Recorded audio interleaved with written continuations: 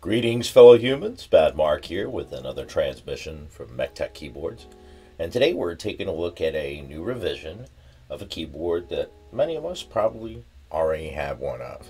Um, this is the CIY GAS 67, which, I mean, it's still popular, but I think the GMK 67 right now is the one that's big in the spotlight, especially with the new colors that came out.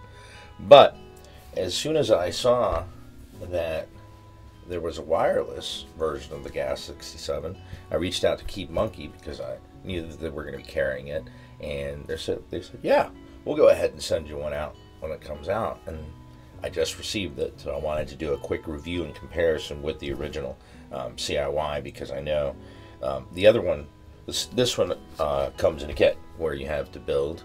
Um, this one I actually did the build live, I believe it's in in my archive of, of uh, videos.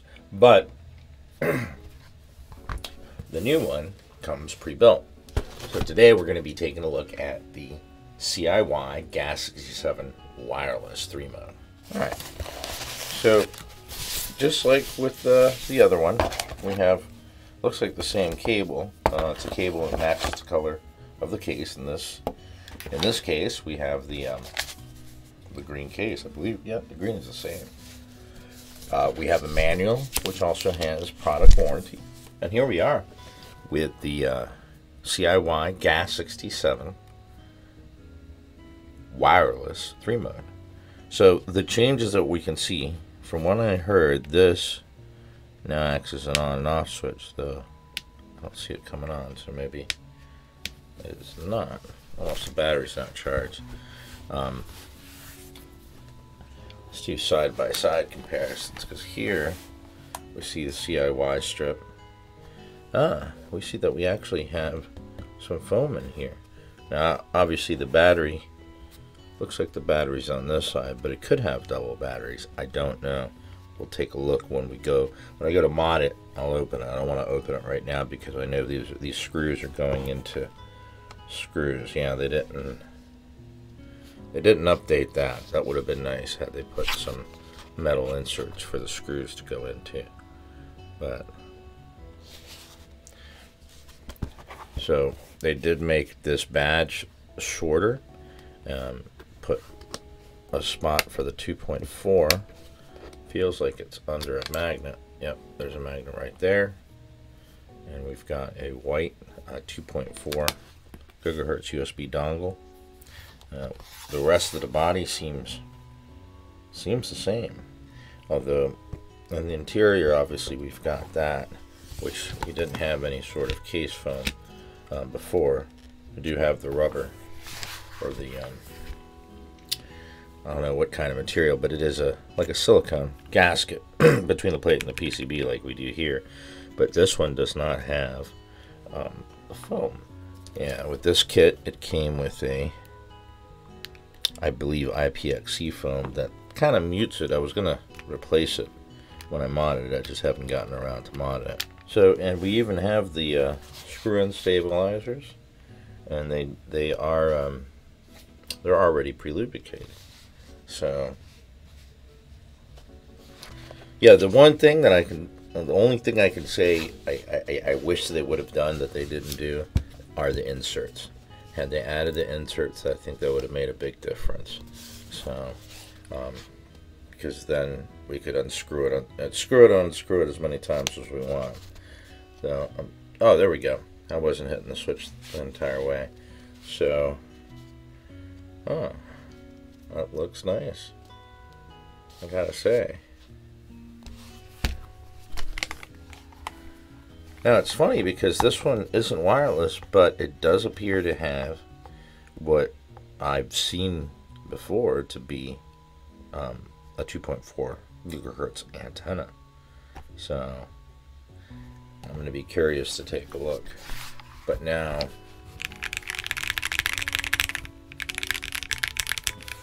I'm curious to how this sounds because it doesn't have this mat. So I don't think it will be as as dampened or as muted as that one is. So under the Team Wolf name, even though it said CIY on the sticker, it is the LM67 mo model. Looks like it only requires 3 volt, 250 milliamps.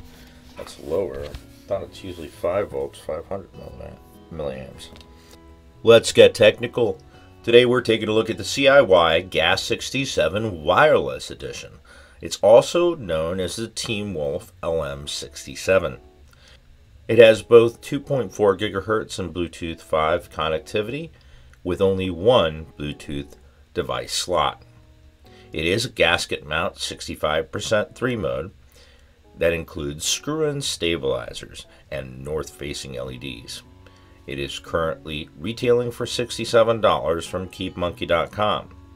It includes a 2000 milliamp hour battery and comes weighing in at 448 grams stock. The chin of this keyboard sits at 22 millimeters above the typing surface, and the back sits at 27 millimeters, providing a default typing angle of 4 degrees. Using the single pair of feet included, you will raise the back up to 36 millimeters, providing you with a 9 degree typing angle. This keyboard does include a decent coiled and nylon braided USB cable. So today I'm gonna go ahead and give uh, a set of switches that I, I don't know, they just got pushed to the back of my collection. I kind of forgot about them. They're uh, um, one of only two KTT tactiles that I have. These are the KTT Matchas. Um, they're a decent tactile, nothing, nothing amazing.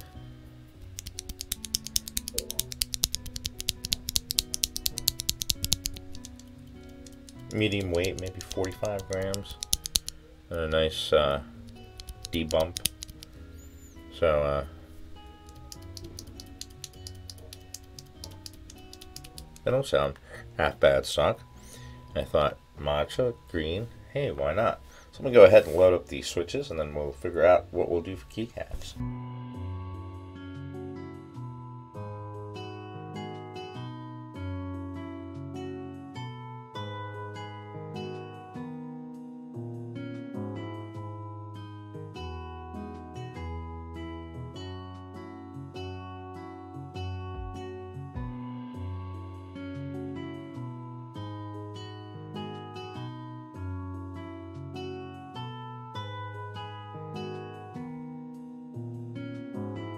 Alright, got the switches loaded up now. I got an odd selection of colors. It might look good, it might look awful, but hey, it, it's worth a shot, right? Um, it's a keycap set I've had sitting around for a minute. It's one of the few remaining ones I have that haven't been moved to a Kittko container yet. Taro. It could look good, it could look funky, I say why not. So I'm going to go ahead and load up both keys. I'll be right back. Alright, so I got the keycaps loaded. Now, you may notice that the space bar is a different color. Um, this is a, a die subset, and the space bar on it is bowed pretty bad. Now, I can usually fix it, but it's a whole process. I usually heat up water and dip it in bend it, dip it in, bend it until it, it usually will at least get to a point to where it's usable. But um, yeah, it was too too bowed, so I am using a Ghostbar on here. So it's a bit of a cheat. Uh, the stabilizers, uh, they are screw-in, but they're a little too over lubed, but that's easily fixed by going in there and just uh, relubing them, cleaning them up and relubing them. So, but I mean, it's still a little muted, but not as muted. And I think that's due to the, the exclusion of that pad. Um, but I still think that it has a lot of potential. I've kept pushing modding the, the original Gas 67, but I, I, I'm going to plan to do, and I'll probably just do both at the same time and do slightly different mods on either one so I can see the difference and see which, you know, what works best. But I mean, it's um, it's sixty-seven dollars on KeebMonkey.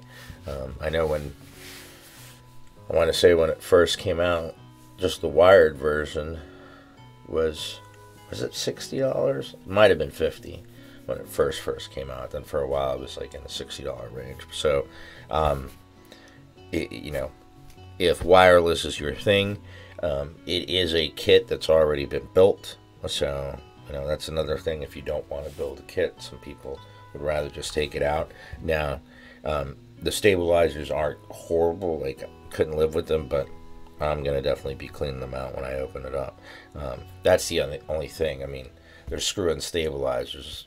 It kind of just wish they'd do a better job with them or let me install them.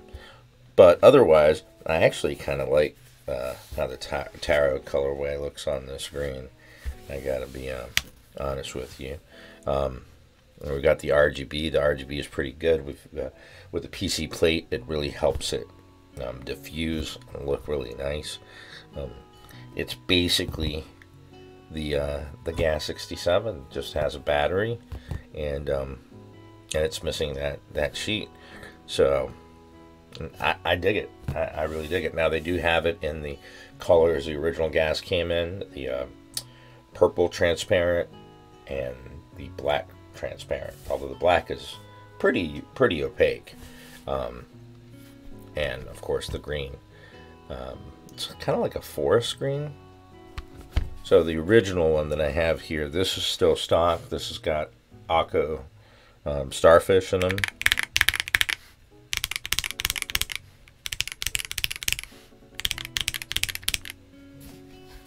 And this is the new Gas 67 stock as well.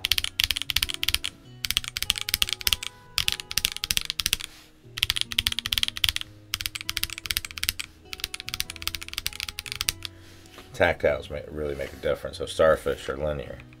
Yeah. Tactiles make a difference. But I think this one's going to sound pretty good for the sound test. They actually weigh very similar. So, yeah, because it has a uh, 2000 milliamp hour battery. I don't use wireless all that much, but 2000, mm, it's on the verge of, I mean, I would I would say minimum 2500, 3000 milliamp hour battery, but that's just me. Um, anyway, I mean, it's like I said, it's extremely similar. Uh, they're basically the same keyboard um, with the inclusion exclusion of the battery in that pad. And um, I'll be getting getting to modding it because I do want to do I'll do a silicone pour probably in one and like a kill mat or um, polyfill in another and do one with the tape mod and one without or different different number of layers one with the PE foam one without and kind of get a, a comparison I appreciate KeebMonkey sending me out this unit so that I could uh, take a look at it and review it and um, I'm going to go ahead and leave you guys with the stock sound test of the CIY Gas 67 three mode wireless and until the next transmission, keep calm and keyboard on.